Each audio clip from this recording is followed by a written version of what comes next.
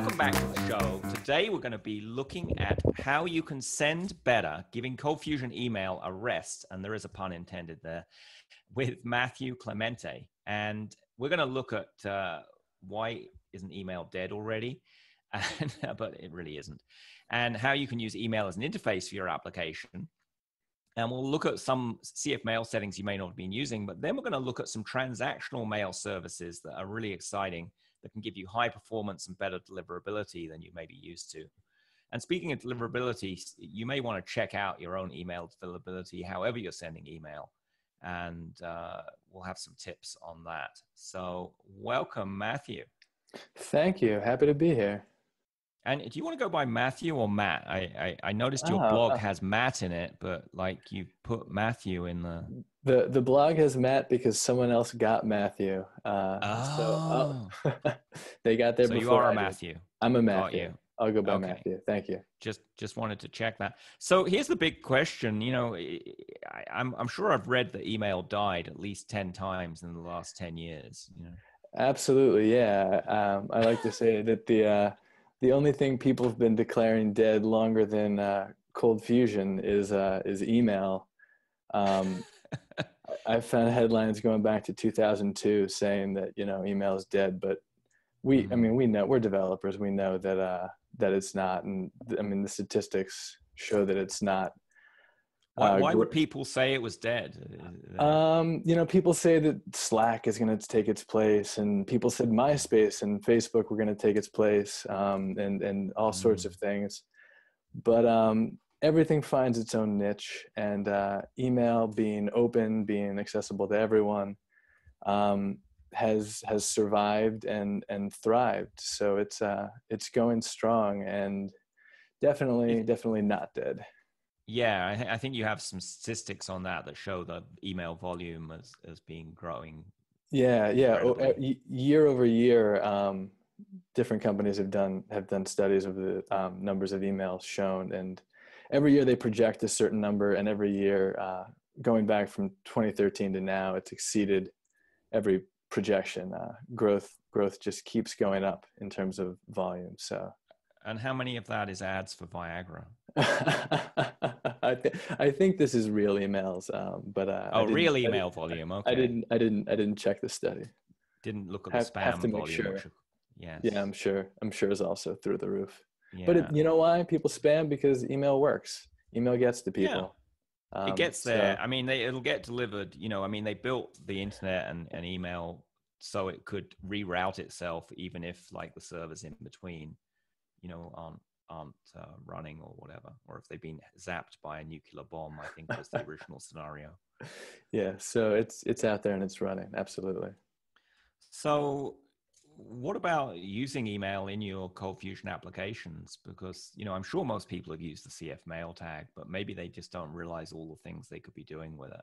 Yeah, I mean, CF Mail makes it incredibly easy to send email, and uh, I think everyone's familiar with setting their mail settings you know you can set it in cf administrator uh, you can you can do your settings in your cf mail tag. One of the things that a lot of people don't know is you can actually set your uh, smtp server settings uh, in your application cfc um, a lot like you set your data source you can define you know your smtp server username and password so that you can have a different uh, server per application and not have to hard code it in mm. every one of your CF mail tags. Um, so that that gives you flexibility as well to define um, a different mail server for different environments. Uh, on your development server, you might want one setting, and on your live server, a different one. Um, there's a lot you can do there if you're defining your your mail settings there in your application.cfc, which mm. I I don't know how many people know that you can do that but it's it's a nice option. That is a good thing. I mean, I guess the other workaround is you just stick those settings into variables that, that get passed around everywhere. Yeah, yeah. I mean, there, uh, there was a question on an old Ray Camden blog post about how to handle uh, different settings on production or a test server. Um, and I think his answer, this it was, it was, from years back, but his answer was using a service or something where, uh, you know, if it's production, send the email. If it's dev, write to a log file and Mm. uh, and that's great. One of the things you can do now, actually, there's there's a service called Mailtrap, Mailtrap.io, and they have a free tier, but they're a, a mock or a fake SMTP server. Um, Oh. and if you if you use their settings in your for your mail server all the messages that you send uh, you can see them there they give you a digest they give you uh, the Oh. html content the text Wow. content uh, all the headers everything's there for you to look at and it doesn't get delivered to your client so a Mm. really nice hack in that regard is that uh, in your app cfc you know if it's production Mm. do your live settings if it's Mm. dev set the mail trap settings and you don't have to worry about your emails you know going and being delivered to your clients and you can go in there and you can actually see them you can see you know i sent this email to this client and this is the content exactly as it'd be rendered on production except instead of me seeing it it would be in you know my very important client's inbox And that has the, I mean, I, I guess the other thing we used to do is just have a, a fake email address or a, a dummy account that we'd send the, the development emails to. But this has the advantage that you can send them to the real address and make sure you've got that right and all any CCs and what have you. Yeah, you can Um, see it exactly as you sent it. You can see all the headers exactly as they'd be sent.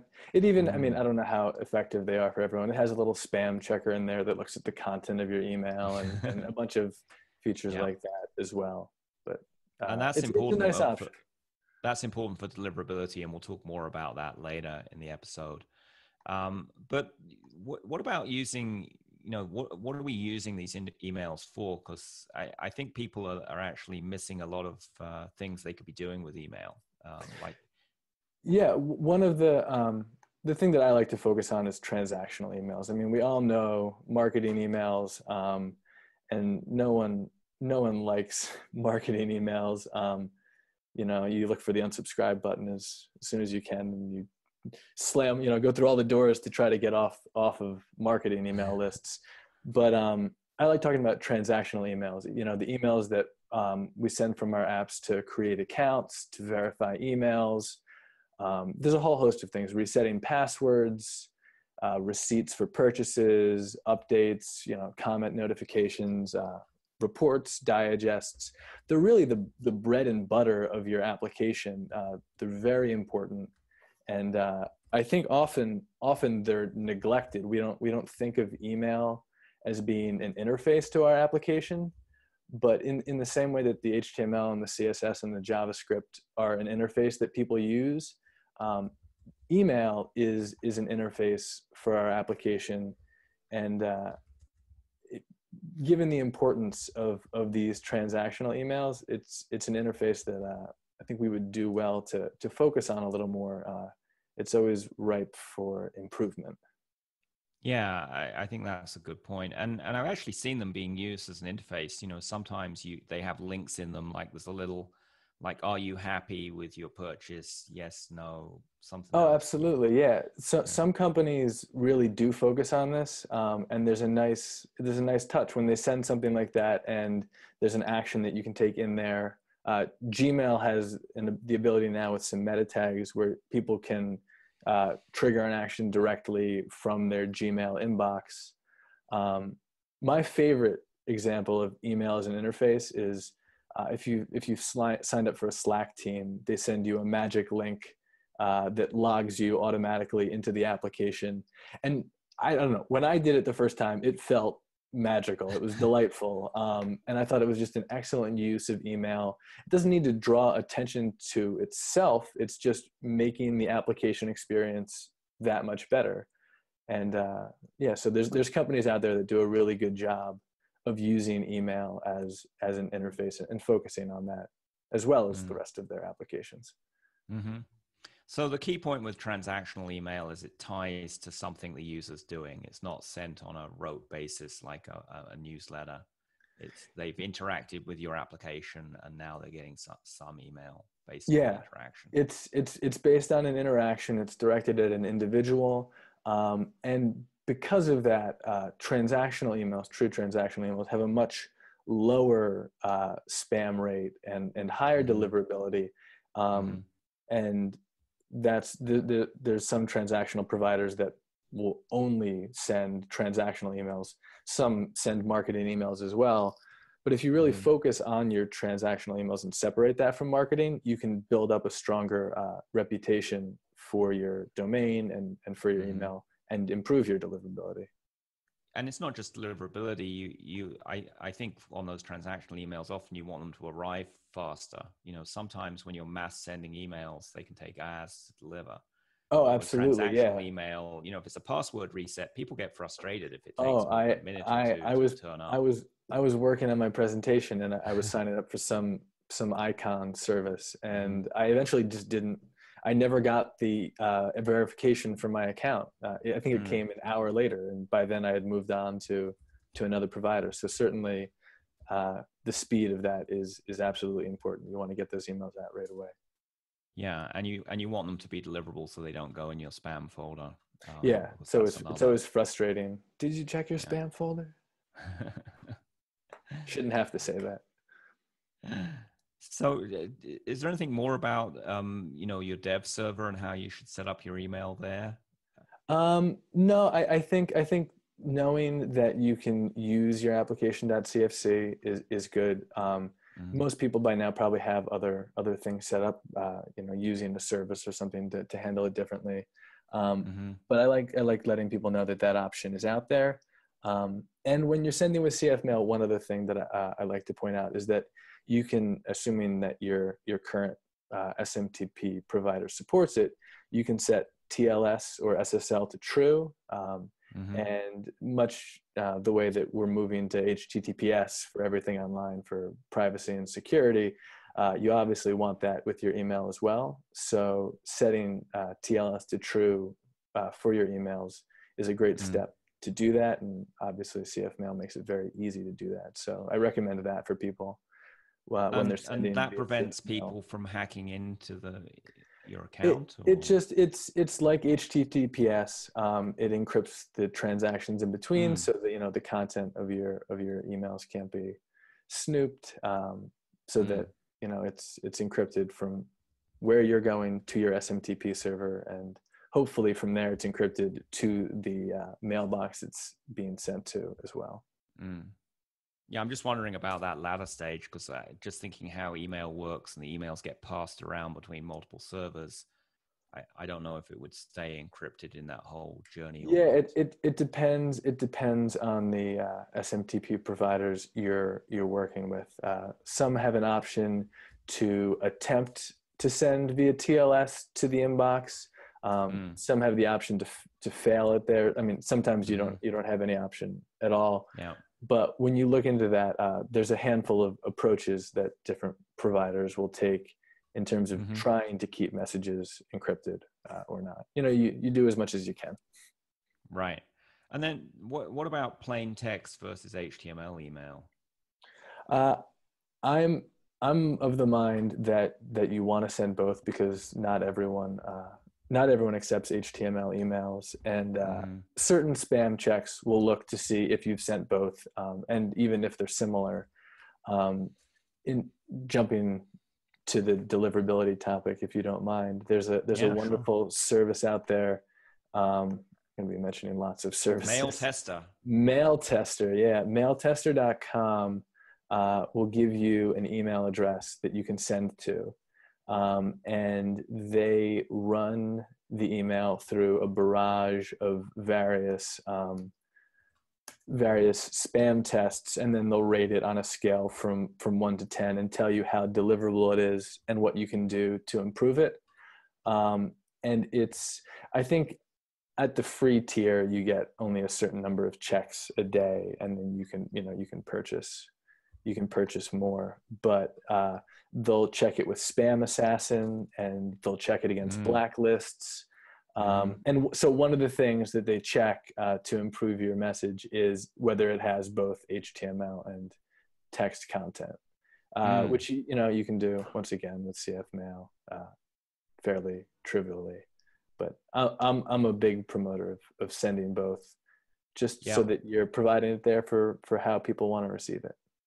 Right, because it's often a lot easier to read an HTML email if you have that turned on. Um, but if people don't have it turned on, then it's going to look like a mess. mm-hmm, mm-hmm. So, um, the other thing that I've used, uh, you probably use something like it, is uh, senderscore.org that kind of Uh-huh. checks Yep. all your. Yep.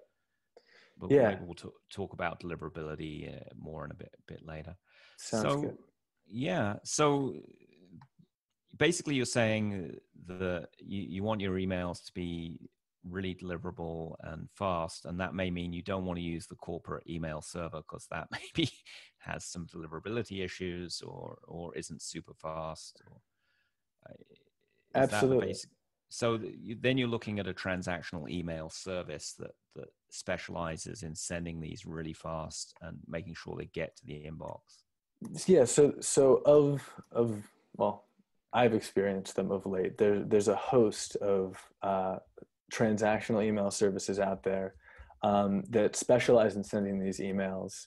They're all relatively cheap and there's a lot of functionality that comes with them. Um, i just remember the first time i used one of these and i was just blown away by how simple it was to get lots more data and um, they're all companies that are obsessive about email um, and really focus on the nitty gritty of email so that you don't have to. Because Mm. I, I know email, you know, you talk about email and people's eyes glaze over. um, but they're there worrying about reputation and how many emails are Yeah. bouncing and what IPs are Yeah. good and bad and improving reputation.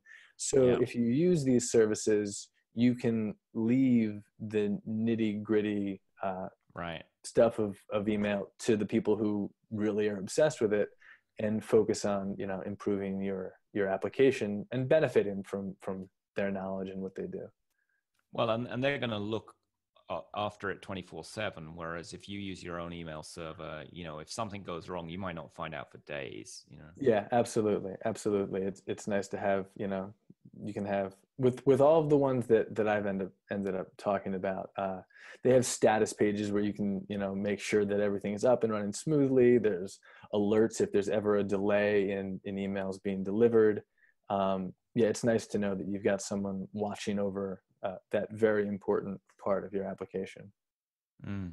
So, what, what's your favorite transactional email service right now? Um, so, well, the question that I usually get is which is best, um, which I think is is kind of a, a, a false. That's loaded question. It's I think well if if you do if you do searches online comparing them, uh, there's Yeah. there's you know advertise they all advertise that that they're the best. Uh, you know, one you know we're better than the rest, but Yeah. um, I, I think that the best and my favorite would always depend on the use case. Um, Mm, they all kind of. I, I haven't looked at every transactional provider because there really are a lot of players in this space. But Yeah. the biggest ones and the ones that I've looked into the most um, are uh, AWS with their SES service, um, SendGrid, Postmark, SparkPost, and Mailgun. Um, and honestly, they're all excellent services, but they have different areas where where one's better than the other and where one has more functionality than the other. Um, so, I mean, I can run through uh, the way that I see their use cases kind of shining. Um, if if you're worried about cost, uh, AWS with SES is by far the cheapest. Um, it's definitely um, orders of magnitude cheaper than the other because Amazon Amazon just you know has bargain basement prices. I don't generally recommend using SES just because if you're going to be using one of these transactional services, um, you probably want to benefit from from some of the more advanced features and hands-on support, and you're you're not going to get that when you're paying those bargain basement prices from Amazon. All of the other providers have a lot more feature features, a lot more active support. Um, but if cost is the Well, most and- important, you just you do you do SES, and it's it's it's there. Right, and you have to configure it yourself, right? S- It's it's a lot more hands-on than the others. Yeah. Yeah, you're, you're definitely plugging in all the wires yourself and making sure Mhm. that stuff's not crossed. So it's really just a step above, you know, running your own your own server. Mm-hmm. Um, if you're doing a lot of marketing emails as well as transactional, SendGrid has a whole host of marketing uh, features built into the product and a lot of support. Um, you know, if you're using a one of the things that that uh, I've recommended to companies is if they're using something like uh, GetResponse or Mailchimp um, or uh, Campaign Monitor, the whole score of marketing email companies, um, they might be able to combine their marketing and transactional with SendGrid because SendGrid has uh, mm. campaigns and templates and a lot of the features that those uh, marketing companies advertise, as well as this transactional side. So you can kind of cut out the cost of the marketing and you know handle all of your email under one roof. If you're doing marketing uh, and want to consolidate there, SendGrid is, in my opinion, the way to go. Mm-hmm. The complete flip side is Postmark. Um, they are very strictly only transactional emails, um, and they they make you check boxes six times anytime you're setting anything up to say that you'll only send transactional. Um, but they really, in my experience, they have the highest deliverability of of the transactional providers I've worked with. when you when you run emails from them through uh, through Mail Tester, uh, their scores are generally off the chart. Um, there's a lot of great features and great transactional stuff in there. They tend to cost more. There, there's volume discounts, but they tend to cost more than the others. So that you know, no marketing emails, uh, and they cost more. But in terms of transactional deliverability, speed, and a lot of other features, they're excellent. excellent. Um, when you say cost more, what you know, you're talking about several arms and legs here, or what? Well, it it depends. Uh, if you're using Postmark, it depends. They give you a prepay option, which is which is cheaper. Um, and it depends how many emails you're sending. Are we talking like a hundred dollars or ten thousand dollars? So, or? so if if we want to run, if you're sending uh, like fifty thousand emails a month, um, mm-hmm. if you're going to do that on Amazon via SES, it's like five dollars. Mm-hmm. If you're doing it on Postmark and you prepay, it's fifty. So mm. ten times more.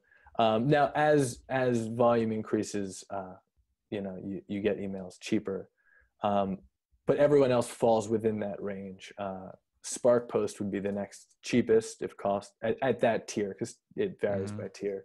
But at, at fifty thousand for Spark Post, uh, it would be nine dollars, nine mm-hmm. dollars a month. Um, and SendGrid and Mailgun that would both be twenty dollars a month.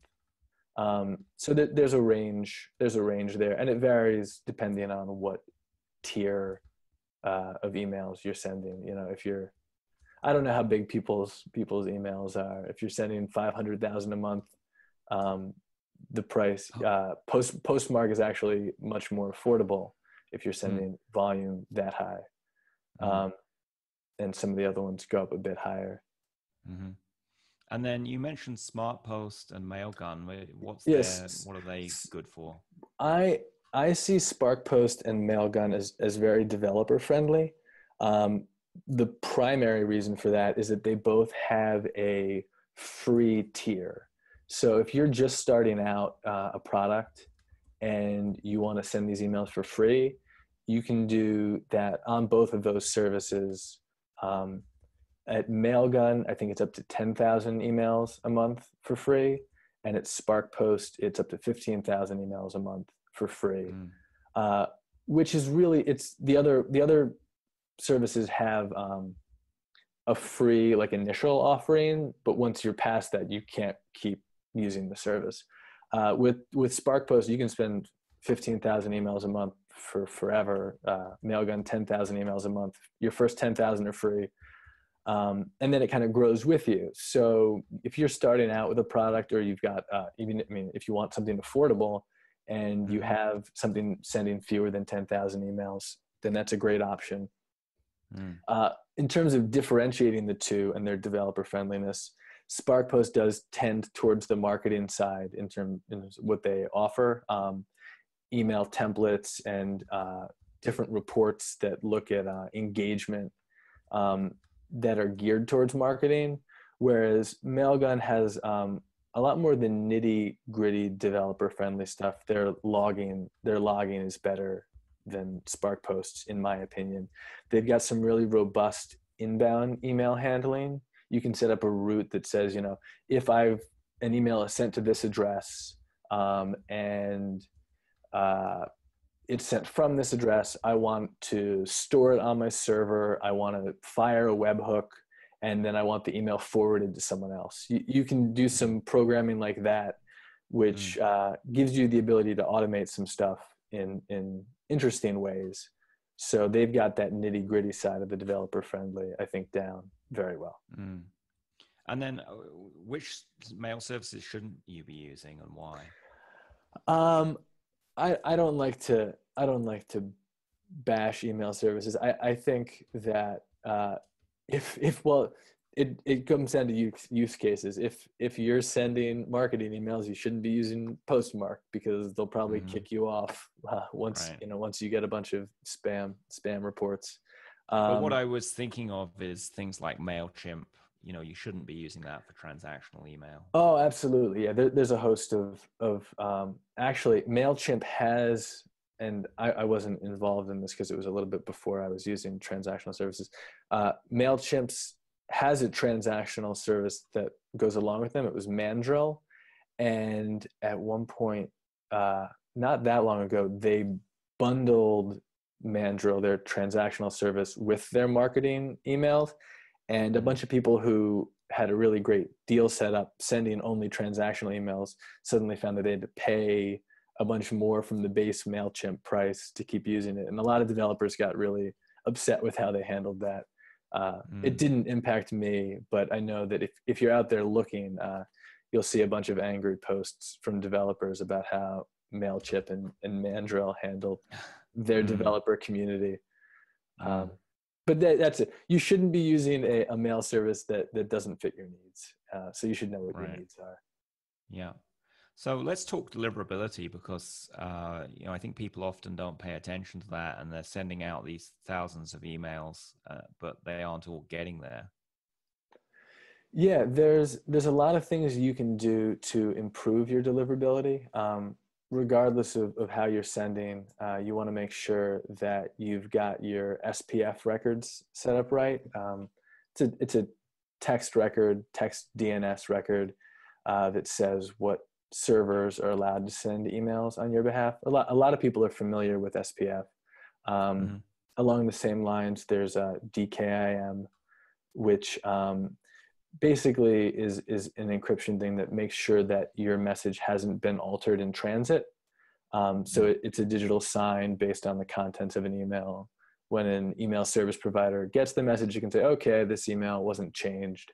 uh, you know someone didn't intercept it because it wasn't sent securely change the content of the email and then and then forward it along um, you definitely want to set up spf and dkim records on your domain uh, with the transactional providers i discussed um, they make it very easy to in some cases they don't require you to uh, but you should um, and anything that's that's checking your deliverability any of those services will tell you if you've set these up or not. Mm. Those are the, the basic things that you should set up. Um, uh, I think more important at this point is DMARC. It's a relatively newer um, security uh, setup uh, for email. It's c- kind of built on top of SPF and DKIM. Mm-hmm.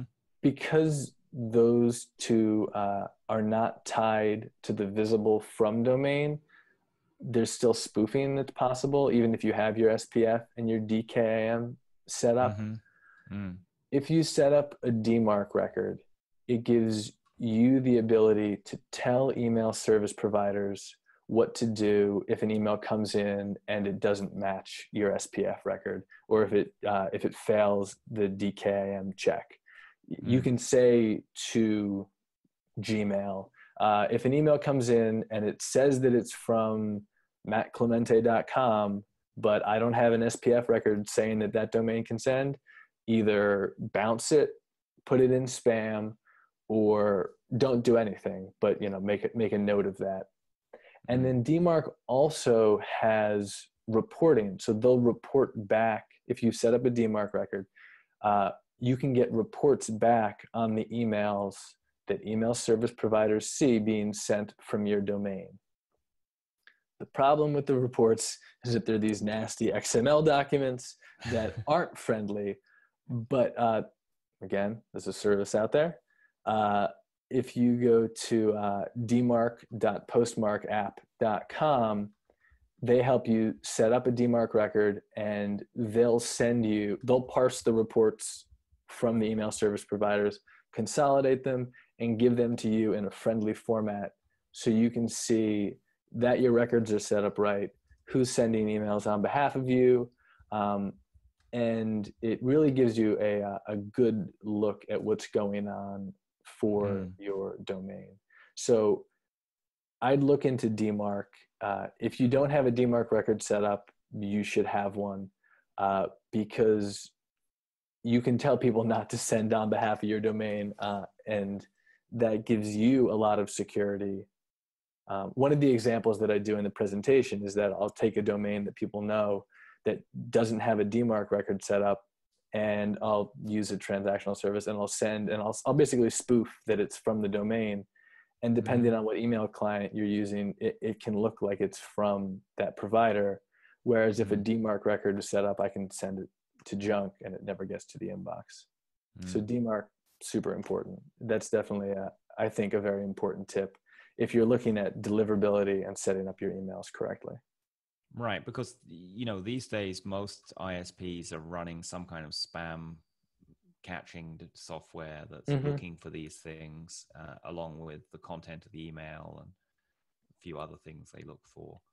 Um, yeah, so they definitely, if you if you look you can look at the headers at how the uh, different email service providers handle your emails and they check a lot of them check obviously for a dmarc record putting that in place should help with your deliverability as well as uh, giving you a lot more control and visibility into what's going on for the emails that your domain is sending and they definitely look for the spf and dkim um, yep records. yeah those those are those are ubiquitous they're they're they're right. across the but board. you'd be amazed how many people misconfigure these things or don't even set them up or absolutely set up and they're not you know? absolutely yeah uh, um, another reason that using some of the deliverability testing services can give you a view into what's going on uh, and then yeah, you mentioned you mentioned mailtester.com and uh, yep I, I had mail dash tester in case people right. are yeah yeah, we'll put it in the show notes. So Absolutely. And senders score sender score is .org is another one I've used. Um, I think uh, Google has one. I'm forgetting where it is, but I've used it in the past to check mm-hmm. deliverability. Mm-hmm. Um, so definitely worth doing that. And it's great to have a service that just checks like every month or every week or whatever what's going on. Mm-hmm. When when you use one of these transactional services, do you have to change your the domain you're sending from? Do you have to have a separate domain that you, you send, or it can come from your domain? Or so they they all they differ slightly in how they have you set it up. Um, from all of them, you can set it up to send from your root domain. So I can send from mattclemente.com. Uh, some of them have you configure their access by adding records to a subdomain. So for Mailgun, they recommend setting up a subdomain. You hmm. verify an SPF and a DKIM record, you know, to show that you control it. And then you still send from the root domain, but you're, you're configuring um, them at the subdomain level. For actually, for all of them except for Postmark, they have you set up a subdomain to uh, do the initial config, but you can send from your root domain. Um, I should say too, with the transactional services that I've talked about, their big focus is their REST APIs, which, you know, there are CFML wrappers for them, but you can send from SMTP uh, using them. They all have SMTP endpoints that you can integrate with your app really easily. It's it's almost I mean if you make sure you do the config right, I wouldn't recommend just dropping it in. But it's about as close to dropping in their SMTP settings as possible, uh, where you could start using the service very quickly without having to reconfigure your app dramatically in order to use them. So, which would you recommend using the REST API or just going straight in? I'd SMTP? I'd recommend uh, if if you've got your application set up and it's running on SMTP, you should use SMTP. It gives you an easy path to migration. You get access to a lot more reporting that you didn't have before, uh, some link tracking, click tracking, analytics that you didn't have, and then uh, migrate to the REST API as needed. Um, there's generally more functionality that you can do with the REST API. Um, REST generally is faster than SMTP because uh, it's just a single HTTP call, and SMTP tends to be chatty. Mm-hmm. Um, mm. but more, the REST API, I've found it's easier to use, and you can get access to some more advanced features. But certainly, in terms of just getting started with them, SMTP would be the way to go. Mm-hmm. And then you, you mentioned webhooks uh, earlier. T- tell us how that would work in in so, you know these yeah. services. So one of the one of the neat features that these transactional email providers uh, provide is in addition to sending email, they give you more functionality. So you can trigger um, a a webhook to get called when an email gets opened you can trigger uh, webhooks to get called when emails bounce, when they get delivered. Um, you can set up inbound email parsing where if an email comes in, you call out to, to a webhook with information about the email. Um, basically, it makes email much more programmable so you can mm. take actions based on what's happening either with your emails or in your emails.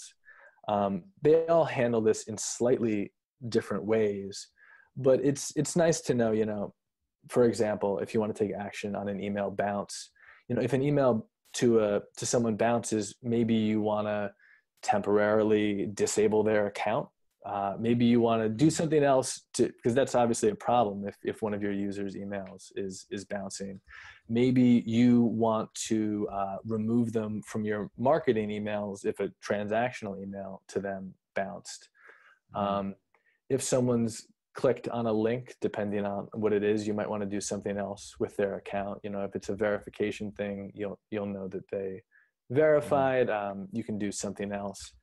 Uh, you can check if an email was open so you know that it was received and, and trigger actions based on that.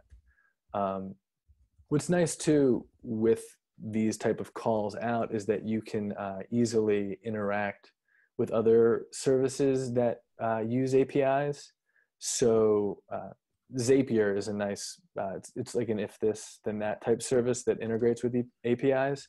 Um, but you can say, uh, for example, we had a situation at, at work where someone wanted clients to be able to fill out a form that sent him PDFs uh, that he stuck into Trello, all this different stuff, which we could have built but it would have been a lot of work. Um, I mean, mm-hmm. it would have taken some time to build for him, but we were able to set it up so that uh, there was a free online form service that then used one of these uh, transactional email services. So it posted the form to the transactional service, which hit Zapier and stuck it into Trello. And I didn't have to program anything because these services all used their APIs to interact with each other and I could keep working on our main app, and he got the functionality that he needed. Mm-hmm. So uh, APIs open up the ability to interact with other APIs, and uh, that gives you functionality that you might not have had before. Mm. So that that gives you a lot more power um, in how you interact with your users and, and email. Absolutely. Uh, yeah. Anything yeah. else on Cold Fusion and transactional email you want to tell us about? Or? Um, I'd just say that uh, it's there's CFML wrappers for these REST services, and uh, in terms of you know the value of cold fusion it makes it very easy uh, to write the wrappers and to interact with these these apis um, for for example uh, SparkPost didn't have a cold fusion wrapper uh, i had worked on the sendgrid one so mm. if, if you look at the commits at github i put together a, a basic SparkPost one to send emails and mm-hmm. you know in in 20 minutes i sent the first email and in an hour it was it was basically done um, so cold fusion definitely makes it uh, possible to interact with them even if they don't it's not one of the three or four built-in api wrappers they provide um, there's cold fusion ones either out there or that can get put together to interact with them uh, mm. which is which is great i think that is cool. So, what's the future of Cold Fusion and email? Um, I, I think in in CF Mail we've got we've got a great tag for for sending SMTP emails. Um, I don't think it's necessarily missing anything, but uh, there's other services out there that mean that you don't need to use SMTP, but you can still use Cold Fusion. I would never say you know abandon CF Mail. Uh, I wouldn't say abandon SMTP, but uh, Cold Fusion, it's nice that it gives us the ability to use these other services to send email. It doesn't lock us into to just sending via SMTP. So I'd say, you know, Cold Fusion's future with email is as bright as email's future. It's it's looking good. All right. So let's just change gears a bit, and I'll ask you some questions I'm asking everyone I'm interviewing, which is why are you proud to use Cold Fusion? Um, I'm proud to use Cold Fusion because it, it helps me make uh, exciting products uh, and exciting tools, and it, it makes my life easier.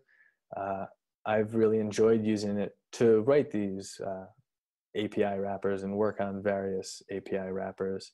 Um, Cold Fusion, I'm proud to use it uh, also because of the community. Uh, I've definitely found that the people who are active in the community uh, are willing to help someone out when they don't understand things uh, and are generally willing to spend time from their day uh, to, to help you solve a problem.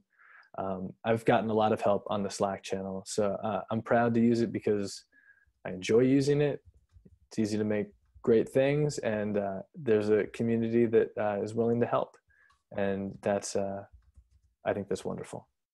That is great. And we'll put the uh, link for the Cold Fusion Slack channel into the show notes for anyone who hasn't discovered that yet. Yeah, if, if you haven't joined it, join it. It's it's wonderful.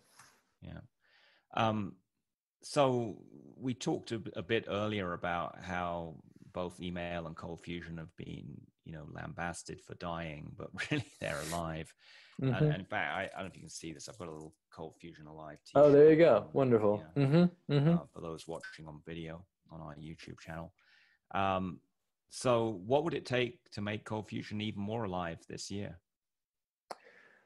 Um, I think uh, more people interacting with the community uh, that's there. It's it's certainly a, a community that's passionate um, and willing to help. And if you're out there and you haven't gotten involved on the Slack channel or you know listening well if you're listening to this podcast you've already you've already done that but uh you, even you never uh, know you'd be surprised not everyone has heard of that if I, I, I think listening to this podcast engaging uh, in the community the slack channel is a great forum for that. Uh, you can do it on on twitter as well. Um, and then even on uh, on github or something looking at the repositories that are out there uh, you know if if there's a um, product out there, or not a product, uh, something uh, code on GitHub that uses Cold Fusion, and you're looking to use it. If it doesn't work, uh, create an issue there and, and try to help improve it, or uh, take it yourself. If you've improved it, then uh, you know create a pull request and, and put it back up there. Or if you want to get involved in the community, um, I think one of the things one of the things that I've been trying to do on my blog is it, if I run into a problem and I solve the problem, I try to write about it. And it's not just for the community, it's for me because I know that in six months I'll forget that I solved the problem and I'll be able to come back to the thing that I wrote and it helps me. Um, so it's for myself, but it's also there contributing because if you've run into a problem, there's someone else who's run into it. And if you've solved it, maybe you'll solve it for them and that makes their life easier.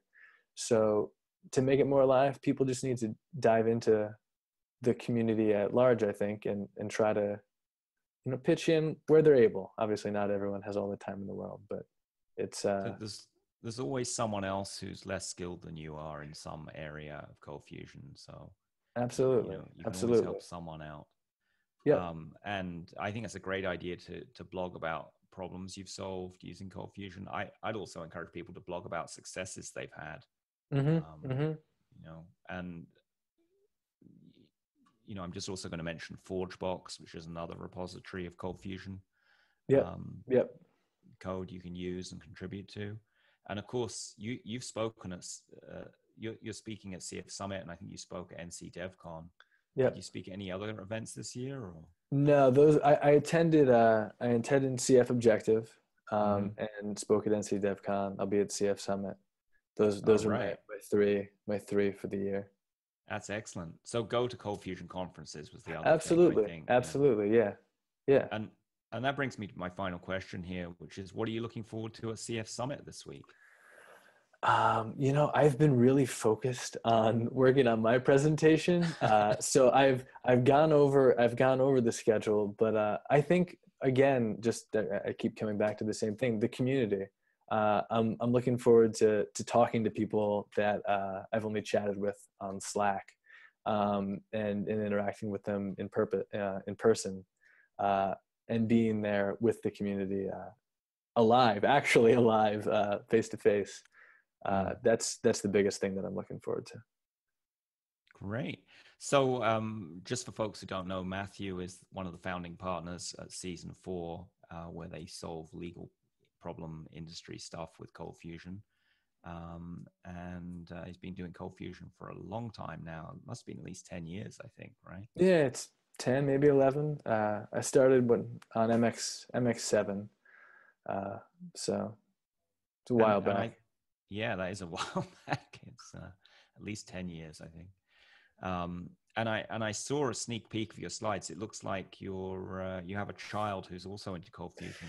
Yeah, I've got uh, I've got my my one year old wearing a wearing a cold fusion t shirt. You know, so it's certainly not dead. It's got a future. He's one year old. so, if uh, folks want to find you online, what's the what are the best ways to do that? Uh, you can find me on Twitter. It's uh, at MJCLEMENTE84 at MJ Clemente 84. Uh, I'm on GitHub, MJ Clemente, and I blog when I have the time at blog.mattclemente.com. So come over there, give me a comment. Uh, happy to hear anything that uh, anyone has to say. Great, and also the CF Slack channel, of course. Absolutely, I'll be. I'm on that too. I think it's MJ Clemente there, although I'm not positive. Yeah. yeah, and we'll put all those into the show notes so you can find them easy. Well, I really appreciate you staying up late in New Jersey to do this interview, uh, Matthew, and good luck with your talk at CF Summit. Thank you so much. I, I appreciate it. It's been a good talk.